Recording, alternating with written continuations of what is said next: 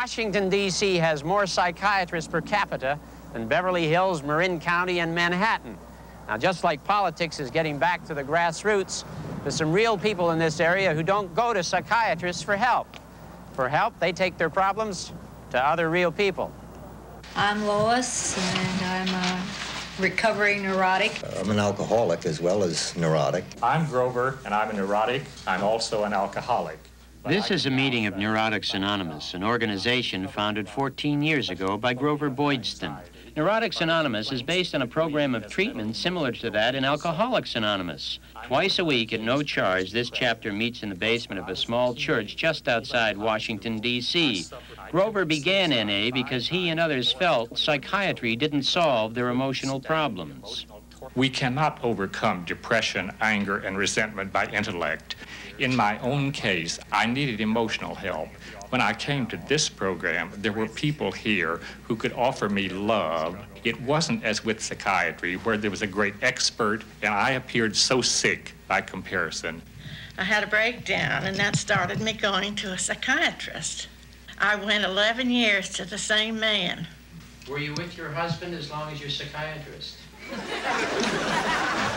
Just what do you mean? Well, the night we attended, we talked to the two women seated on either side of Grover, Terry and Joni. They told us a little about themselves and why they came to NA.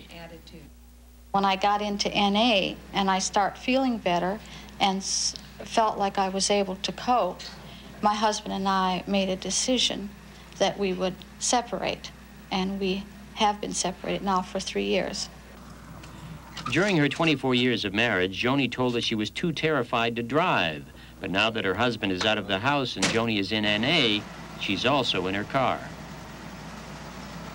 Driving gives me a feeling of independence. It's a fear that I feel I uh, conquered because of the program. With NA's help, Joni is getting her life together and hopes someday to get her marriage together. I feel that my husband and I will go, get back together again. I feel that. My husband was killed in an automobile accident. I was left with seven children, and it seemed so overwhelming. Would you like to remarry?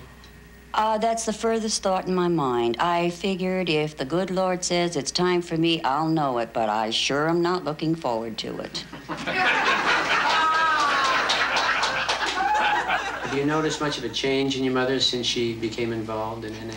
the only difference I notice is that she's always on the phone. uh, Terry is on the phone a lot because she handles the members' emergency calls. We found out, though, there are varying degrees of emergencies.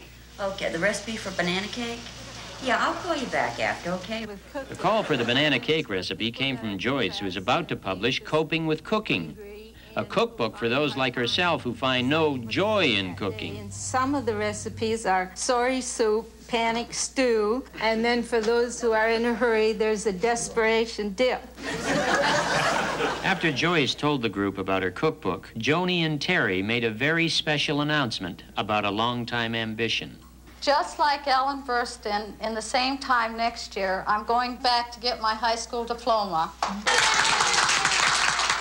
Just like Joni in Neurotics Anonymous, I too am going back to get my high school diploma. Wow. Do you think there'll be a time when you'll see yourself functioning without NA? No. No, this is lifetime. I found real people. We need the fellowship and the company of our friends.